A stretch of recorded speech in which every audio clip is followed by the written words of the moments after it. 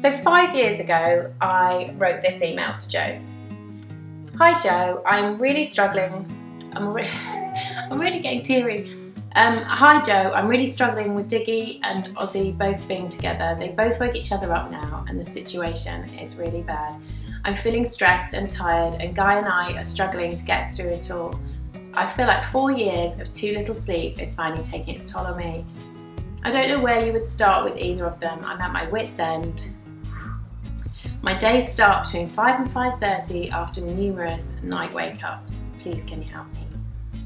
It's a pretty desperate email and I'm sure it's not the only one that you've had. Um, just tell us what you do, Jo.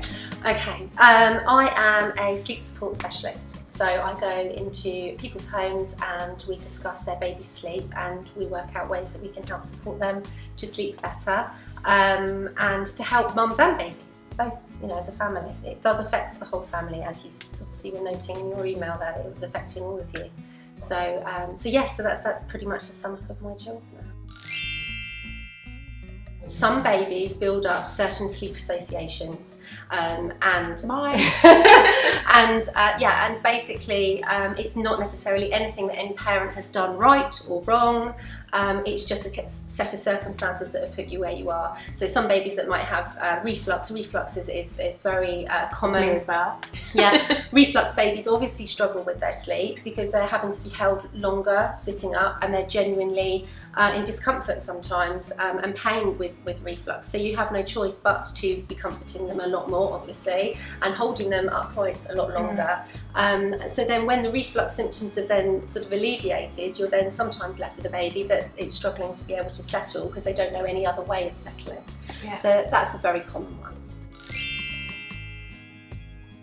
I've just had my new baby. What do I do? The first thing anyone does with their new baby is give them lots of cuddles. It's not about that. It's about lots of cuddles, bonding with your baby. Um, really establishing feeding is the most important thing to start off with. Um, and, and obviously, yes, you can then start to introduce sort of routines. Some people like following routines, some don't. The fact is that children do thrive on, on routine.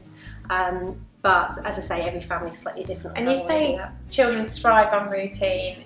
Um, is that something that then helps sleep? It can do, do yeah, absolutely. Of course, it does. I mean, if you have um, even just something simple like a bedtime routine mm-hmm. and setting a, a, bedtime routine that works well for your family, a lot of a typical bedtime routine would be sort of you know upstairs in the bath and then to bed. Just having simple sleep cues, closing curtains, absolutely, closing the curtains, having the room nice and dark. Um, not necessarily having them um, asleep when they go into their beds. It's always good for them to learn to be awake in their beds so they know where they are when they go to sleep. That's my um, big fail. Yeah.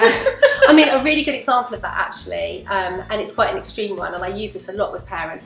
If you can imagine yourself going to bed at 10 o'clock at night and then suddenly waking up at 3 in the morning uh, downstairs on the sofa, fully dressed, that would probably freak you out. So for a baby that's falling asleep in your arms, um, and then suddenly they're waking up however long later in their cot and you're gone and they're like crikey what's mm. going on what do we do then what do you think about controlled crying and leaving your baby to cry it out, which yeah. is a phrase that no, is yeah, landed about. Absolutely. There's no need to do uh, anything like control crying or cry it out techniques. Um, it's all about uh, reassurance and comforting them. Um, mm-hmm. At the end of the day, babies and young children are like sponges and um, they learn from us. So you can't suddenly expect them to be put into a cot and learn how to do it without, without us showing them how to do it. Mm-hmm. So a lot of what I do uh, with families is it's all about reassurance and comfort. Um, there's no sort of aspect of, of, crying it out. It's not the case that I don't agree with it. Um, I, I, you just don't need to do it. You don't have to do it. What is the difference between a night nanny if you've got to that stage where you just can't do it by yourself? And I'm on my own a lot as well. So yeah, I mean, um, a, a, lot of families do choose to have. I mean, uh, two aspects of my job actually is, is going in and supporting families, um, as I did with yourself. Mm. Um, another very uh, popular, and it gives you the opportunity to get rest, but it also gives you the opportunity to kind of learn from what I'm doing. Which, as yeah. you remember when I came to you, as each day passed, I was telling you what was going on, why it was happening, and kind of teaching you to zone into your baby's sleep just as much as I was while I was the one that was helping him to go to sleep. Yeah. Um, another popular, um, and which actually majority of families tend to, tend to go for now as well, is that they do it themselves and I support them remotely. Do you think in five days you can turn your baby's sleep problem around? Yes. Yes, you can. That's what I do. Yeah, absolutely. Yeah, and, and Quite I, amazing. It is. It's a, it's a, it's a, it's about it's about supporting them. It's about tuning into their sleep cues. It's about learning about your baby's sleep and how to support them best to do that. To contact Jo, go to facebook.com forward slash Twilight Nanny or twilightnanny.co.uk. I hope this chat has been helpful. Leave your comments and questions below and don't forget to subscribe to Hey Mummy.